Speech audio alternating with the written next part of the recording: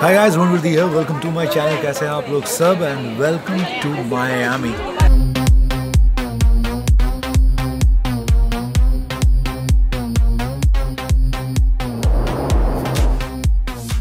तो अभी कुछ दिनों के लिए मैं मायामी आया हूँ। मायामी एक्सप्लोर करेंगे, घूमेंगे।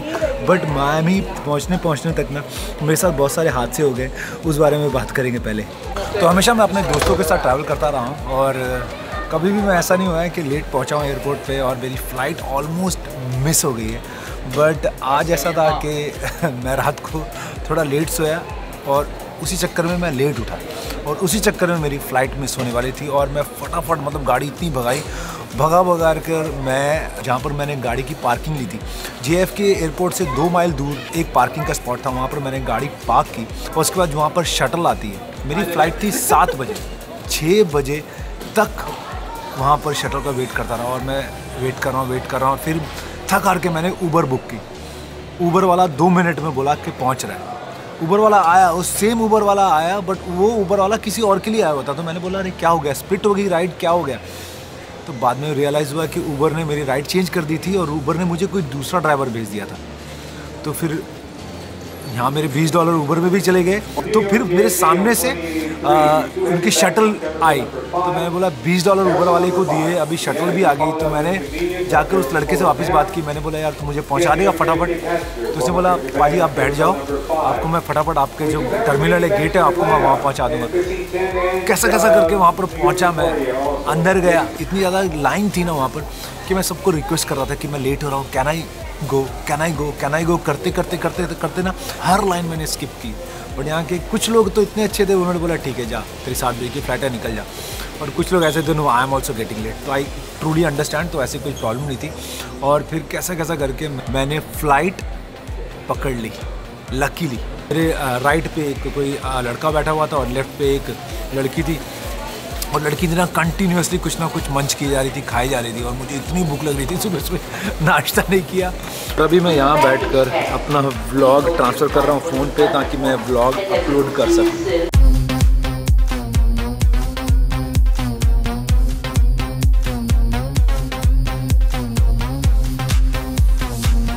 ब्लॉग एडिट कर रहा था भाई साहब आए बहुत सब बड़ी तो ही स्टार्टेड वाचिंग इट और उसको इंटरेस्ट आया बोला भाई यूट्यूब में बहुत पैसा मिला बहुत पैसा है। अगर आप कंटेंट ऐसा क्रिएट करो जिससे लोगों को इन्फॉर्मेशन पहुँचे and they get entertain then you can make a off money सबको पैसा बनाना है।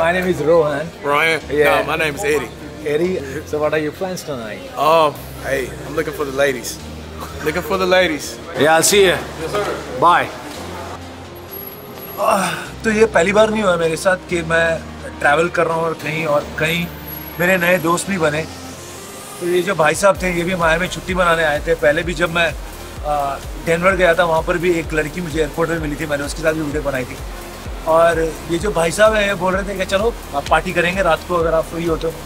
मैंने अभी के लिए तो हाँ बोला है बट आगे चल के क्या होता है वो पता नहीं मेरी रेंट कार है, वो एयरपोर्ट के अंदर ही मुझे मिल जाएगी।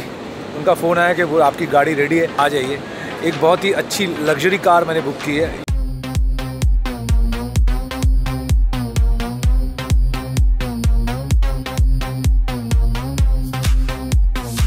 तो अभी रेंटर कार लेने के लिए ट्रेन लेकर दूसरे टर्मिनल पे जाना पड़ेगा।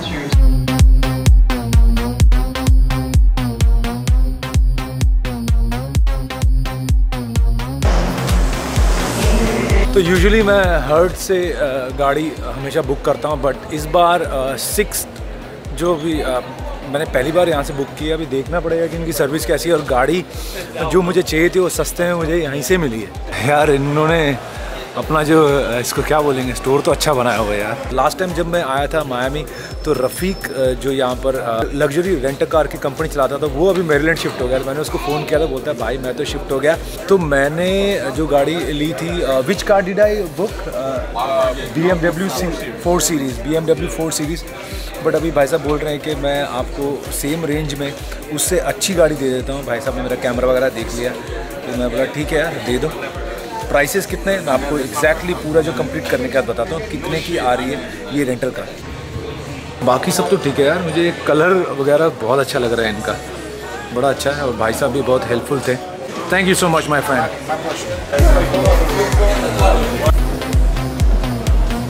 सारी जो रेंटल गाड़ियाँ हैं यहाँ पर खड़ी हैं। अरे भाई, यहाँ पर तो स्पोर्ट्स गाड़ियों का भरमार है यार। क्या बात है। तो अभी कैसा कि उन्होंने ये मुझे कार्ड दिया है और बोला कि यहाँ पर आपको नंबर लिखे हुए दिख जाएँगे जो भी गाड़ी आपकी है तो ये कार्ड दिखाना है वहाँ पर की पिकअप में और गाड़ी लेनी है देखो my friend Um, so this one's going to be located at 131. Yeah, I got it. Thank you. Thank you, my friend. Take it? Thank you. कौन सी गाड़ी मुझे मिली है वो नंबर लिखा वन थर्टी वन है वो रही ओ भाई क्या गाड़ी है भाई साहब ये B M W G four twenty twenty one model है सुपर फास्ट और सुपर स्पोर्ट्स व्हीकल है। और ये सेवेंटी थाउज़ेंड माइल चली हुई है तो इसकी कीमत उस हिसाब से है फोर्टी थाउज़ेंड डॉलर वरना अगर आप इस गाड़ी को नया लेने जाओगे ना 2023 मॉडल वो आएगी आपको सिक्सटी थाउज़ेंड डॉलर ये six cylinder super fast car है। और जस्ट बिकॉज़ ये 2021 मॉडल है 17,000 चली हुई है।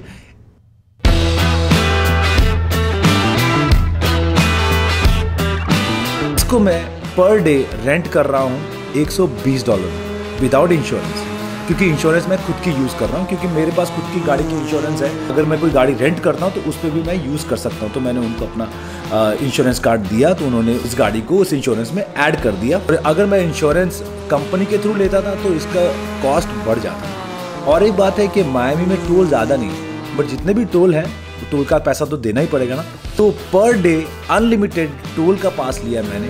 फिफ्टीन डॉलर मैं टोल पास नहीं लेना चाहता हूँ अगर मैंने टोल क्रॉस किया अगर टोल की कॉस्ट है पाँच डॉलर तो वो लोग पाँच डॉलर एक्स्ट्रा मुझे उसके ऊपर से चार्ज करेंगे बट मैंने डिसाइड किया कि मैं उनसे ही फिफ्टीन डॉलर्स का अनलिमिटेड टोल का पास ले लेता हूँ।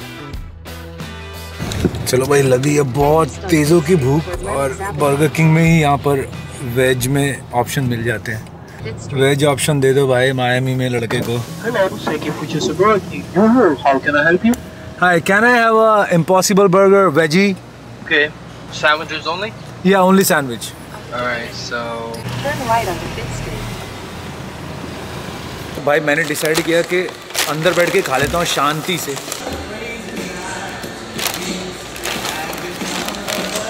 और साथ में कोक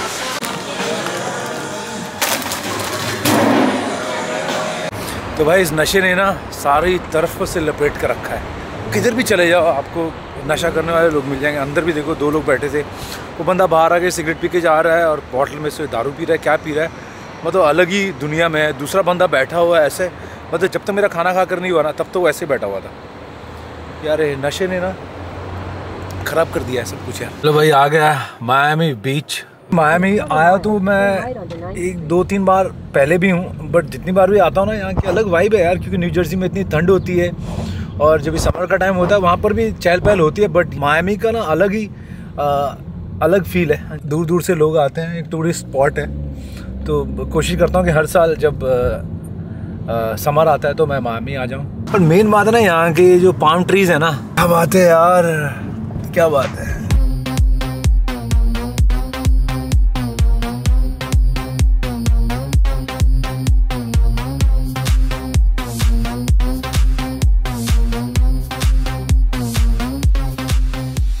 मैं ढूंढ रहा हूँ मेरा air B N B air B N B और आस पास में यहीं पर दिखा रहा है।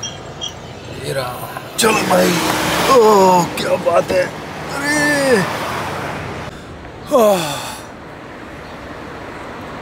ये मेन स्ट्रिप में इस बार मैंने एयर बी किया है। ये main strip tenth street Barbara captain way Collins avenue और ये रहा, और मेरे पीछे मेरा एयरबीएनबी है। और गाड़ी मैंने यहाँ पार्क की है। पार्किंग करने के लिए कुछ नहीं किया मैंने।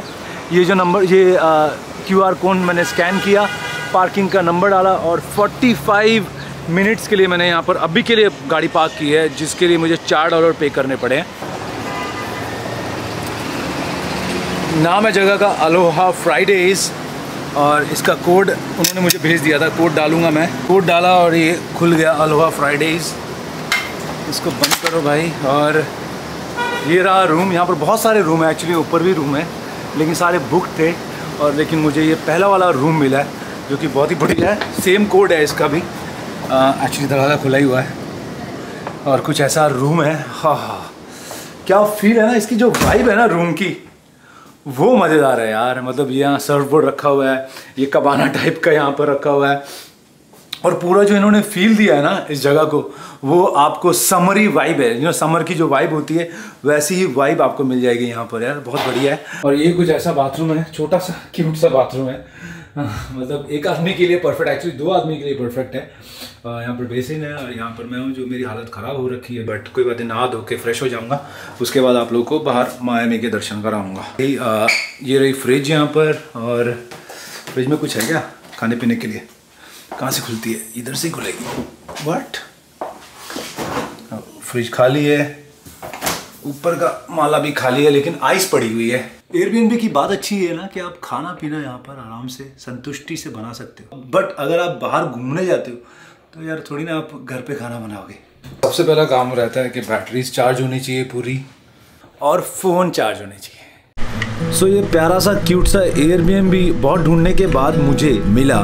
और ये मुझे 150 डॉलर्स पर नाइट की रेट पर मिला। मुझे एक ऐसा एयरबिन भी चाहिए था जो बीच से नज़दीक हो और डाउनटाउन के नज़ारे भी ले सको। So this was the perfect choice aloha Fridays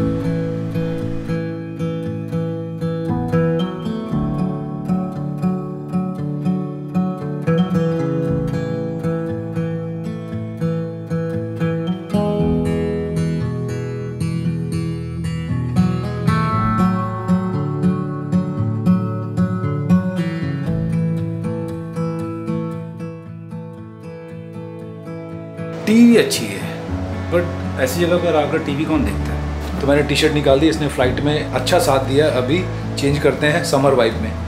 तो समर वाइब की शुरुआत हम करेंगे नेक्स्ट वीक से। आप लोग प्लीज़ इतना काम करना कि मुझे कमेंट्स में बताना कि आपको ये व्लॉग कैसा लगा। अगर अच्छा लगा है और सब्सक्राइब नहीं किया तो सब्सक्राइब करके आना साथ ही साथ वो नोटिफिकेशन आइकन भी दबा देना। वो जो रेड कलर की घंटी है ना उससे एंड व्लॉग को इधर तक ही रखता हूँ। Thank you so much for watching this video. Keep watching, keep motivating. I love you all and please be safe. Bye bye.